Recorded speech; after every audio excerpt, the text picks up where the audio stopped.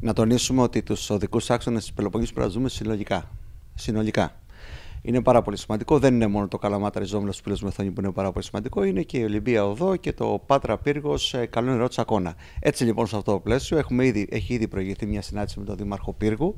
Έχουμε αναπτύξει αυτά τα θέματα και έχω καλεστεί στις 25 Φεβρουαρίου που θα πραγματοποιηθεί στο Συμβούλιο των Ερετών μια, ένας συμβολικός αποκλεισμός και τοποθετήσεις γι' αυτό ακριβώς το ζήτημα. Εμάς μας αφορά άμεσα το θέμα καλό νερό τσακώνα όπως αντιλαμβάνεστε διότι είναι ανάπτυξη της ε, Δυτικής ε, Καλαμάτας της Δυτικής Μεσσηνίας, με συγχωρείτε ε, και οπότε εμείς θα το, το παρακολουθούμε στενά και θα ενώσουμε τη φωνή μας και τη δύναμή μας προς αυτήν την κατεύθυνση.